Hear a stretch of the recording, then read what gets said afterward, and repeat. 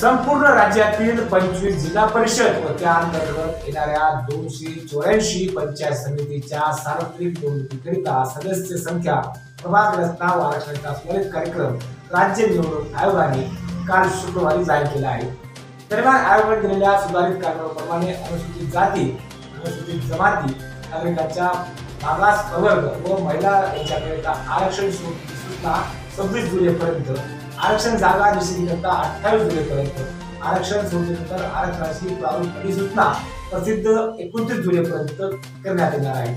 गट व गणनिहाय आरक्षणावरील हरकती एकोणतीस जुलै ते दोन ऑगस्ट पर्यंत सादर करण्यात येणार आहे मुदत आरक्षण निश्चितीबाबत प्राप्त झालेल्या हरकती व सूचनांचा विचार करून गणाचे अंतिम आरक्षण राजपत्रात प्रसिद्ध करण्याबाबत पाच ऑगस्ट पर्यंत मुदत बहाल करण्यात आली आहे.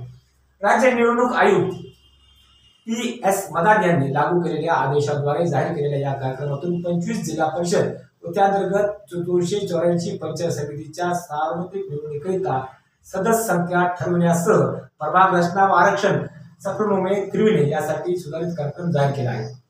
समर्पित राज्य मागासवर्ग आयोगाच्या शिफारसीनुसार जिल्हा परिषद व पंचायत समितीच्या एकूण जागापैकी नागरिकांच्या मागासवर्ग प्रवर्गाकरिता शिफारस केल्यानुसार सत्तावीस टक्के जागा नागरिकांच्या मा- मागासवर्ग प्रवर्गाकरिता देय राहतील. मात्र महाराष्ट्र शासन अधिनियम क्रमांक एकोणीस दोन हजार बावीस अनुसूचित जाती अनुसूचित जमाती व नागरिकांच्या मागास प्रवर्ग यांच्या आरक्षणाचे एकूण प्रमाण हे पन्नास जागांच्या पेक्षा अधिक होत असेल तर आरक्षित जागा पन्नास टक्केपेक्षा मर्यादित ठेवण्यात येतील असे आयोगाने स्पष्ट केले असून. या आदेशातून लोकसंख्येनुसार सदस्य संख्या प्रभाग आरक्षण निश्चिती या संदर्भात स्पष्ट आणि तपशीलवार असा सूचना बजावण्यात आल्या आहेत.